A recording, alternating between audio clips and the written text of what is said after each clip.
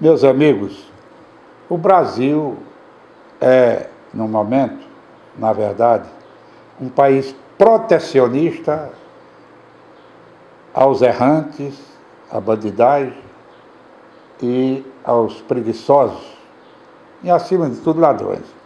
Tem uma cena mais deprimente do que essa patrocinada pela presidente Dilma Rousseff, a respeitável presidente do nosso país, ela resolveu demitir, eu não sei se chama de demitir, todos os diretores, ou melhor, toda a diretoria da Petrobras. Mas antes de demiti-los, ela convidou para uma reunião em palácio.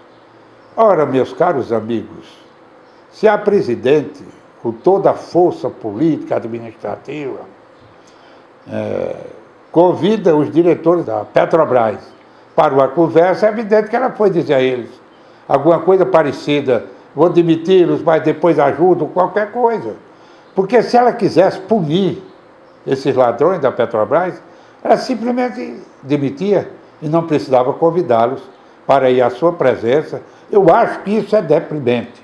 Eu acho isso uma vergonha para um presidente da República convidar as pessoas que estão sendo todas é, revisionadas por ações terríveis, cruéis, de roubo da Petrobras, e agora vão ser recebidos, antes da demissão, pela presidente da República. Até onde nós vamos parar, num país como vive esse, ou melhor, e no mundo também. O mundo está vivendo uma crise sem tamanho, não é só o Brasil. Não, não vamos também falar somente do Brasil. O, o, o mundo, essa questão do, desse novo país chamado ISIS, isso é um absurdo que nós estamos vivendo. E o poder deles é tão grande, desses habitantes dessa nova área de terra, que fazem o que acabaram de fazer agora com a Jordânia. Como vingança, mataram o jordaniano vivo, ou melhor, tocaram fogo nele vivo. E o mundo assiste quase que calado, parece que não tem força para reagir. Mas tem uma coisa ainda que nós temos que falar nesse momento, voltando ao Brasil, não é mais sobre corrupção, porque parece que a corrupção se tornou plano banal no Brasil de ponta a ponta. É a questão nossa. E aí governo não tem culpa nenhum. É a falta d'água que essa é cruel. Essa é, é desanimadora. Não chove. E nós estamos perdendo as nossas últimas esperanças.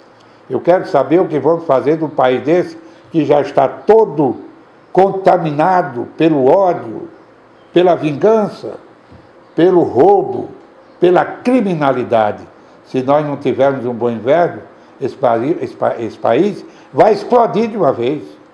Vai explodir sim, porque o povo não vai suportar. Você não pode sair daqui da Paraíba, vou morar em São Paulo. Se lá não tem água, vou morar em Brasília ou qualquer outro canto.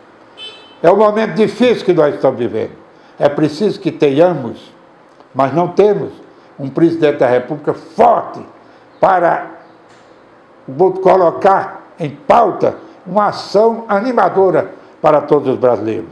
Punir a bandidagem, colocar na cadeia os necessitados, os, os necessitados, não, perdão, aqueles que erram e mostrar aos demais habitantes, aos mais sofredores, que eles merecem alguma pauta consoladora. Eu sou desanimado com o Brasil hoje eu sou e estou desanimado.